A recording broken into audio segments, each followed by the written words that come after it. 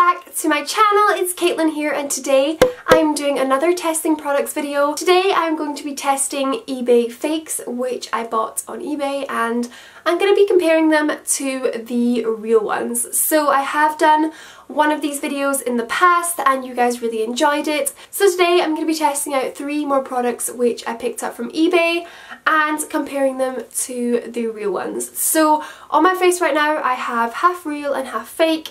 If you guys can tell the difference, then let me know and tell me what side you think is which. But I feel like they do look quite similar right now, which is I don't know if that's a good thing. I really hope you enjoy this video. If you do like these types of videos, testing videos, then feel free to give this video a thumbs up. And if you guys are new to my channel, then feel free to subscribe. I post every Tuesday and Friday. And without further ado, I will just get on and do some comparisons for you. So let's go. Okay, so I've already done my foundation and my eyebrows and stuff because I'm not going to be doing a comparison for those products, so I've done everything up until the point of highlight. So the product which I'm going to be comparing for highlights is the Anastasia Glow Kit and this one which I own is the That Glow one. So it is the like warmer one but not the darkest one. This is what the real one looks like. You guys have probably seen it 101 times and it's got the four shades in here and then this one here is the fake one. In terms of how they look and how they feel without using the product the real one is so much more heavier and feels a lot more bulkier than the fake um, the fake feels quite flimsy and not so sturdy and just quite light. One thing which I did notice about the fake is the colour of the packaging is a little bit darker than the real one. The real one has more of an ombre, if you can see that there. In terms of the back, they do look really similar. However, the four shades on the fake are a different colour to the real shades, if that makes sense. So you guys can probably see them there. The fake ones just look a lot darker than the light ones just for the packaging on the back. The pans in the fake product look quite loose. Um, there's definitely like a darker rim around each of the pans here and it kind of looks like they've been placed in a little bit more looser um, whereas in the real one they're definitely looking a little bit more secure. Also one thing which I did notice about the fake is that the um, writing on it is not um, bumpy. On this one it's kind of embossed into the packaging whereas this one is just printed over the top. And also it looks like it's kind of rubbing off as well. It's definitely just not as high quality as the real one. So I'm just going to go ahead and use both of these on my face and I will let you guys see the difference between the real one and the fake one.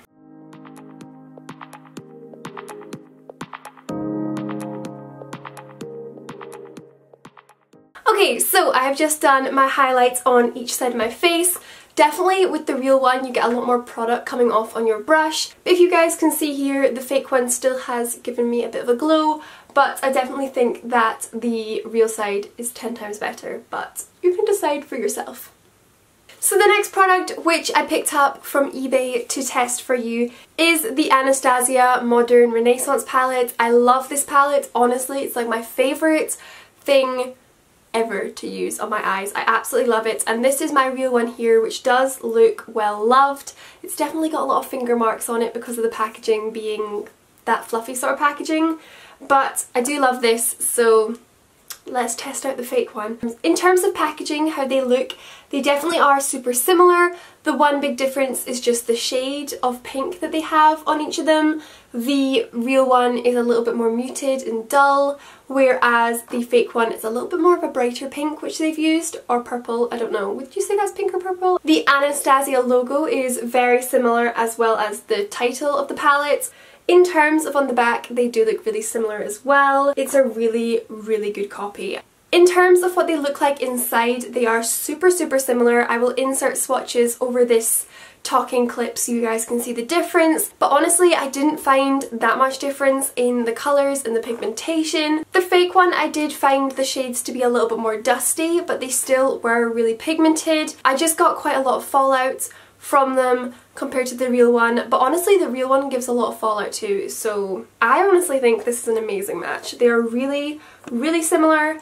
Um, one thing which I love about the real one is the shimmery shades are really buttery and I didn't quite get that with the fake one but that was the only thing I could really comment on because yeah, it was a really good match. So I'm just going to go ahead and do an eye look for you and see how they work on my eyes. I'll come back and let you guys know.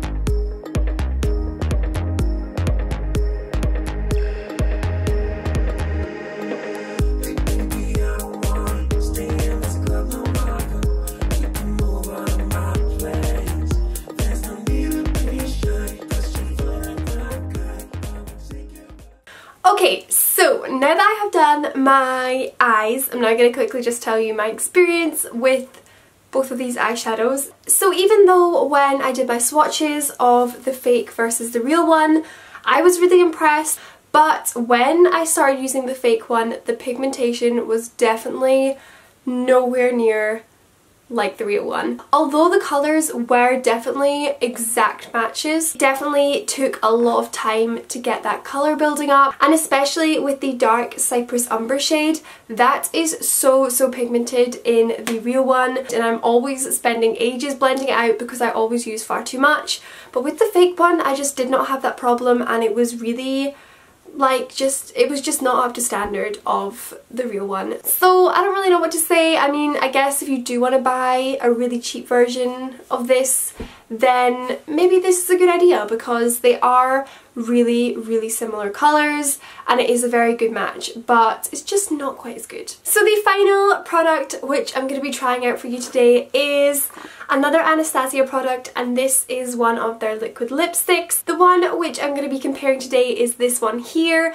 I honestly did not think about the eye look and the lips matching, I'm sorry but this one here is the Sarafine liquid lipstick and it's just a really lovely like vibrant red colour and I really really love it so much. So I picked up one on eBay for something like a pound. It was crazy how cheap it was and I'm going to put them both on my lips and see. When I swatched these they looked so similar and I'll just show you. The packaging on it just looks so crazy similar. It's honestly quite scary like I feel like I'm gonna mix these up. The only difference which I can see from just looking at them both is the bottoms of them.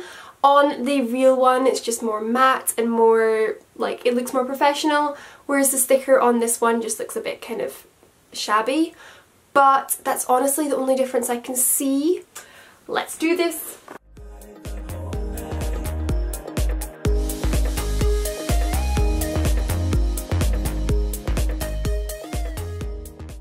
One thing I do notice is when I pull the applicator out of the tube, not so much product is on the applicator. It just feels a little bit less substantial.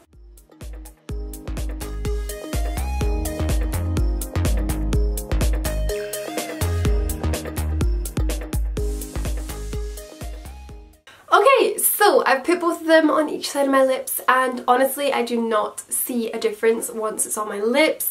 As I kind of mentioned, the applicator on this side, like the fake side, you don't get as much product. So I did kind of do like a second layer, but like it's such a minor, minor thing to complain about. In terms of colour and formula, they are really, really similar. And if you didn't have the real one, you would not know a difference. Like you would not feel like you had a shabby product that you were using. It's such, whoa. I can't see a difference. Like I'm so blown away. So those were all the products which I had to test out for you today. These ones were so much more similar than the last fakes which I tested. It was crazy. I'm actually kind of scared that I'm going to get them mixed up with my actual real ones. Thank you so much for watching. If you like these kind of videos, testing videos, eBay videos, let me know in the comments or by liking this video and also subscribe if you are new to my channel and I will see you soon in my next video. Bye guys!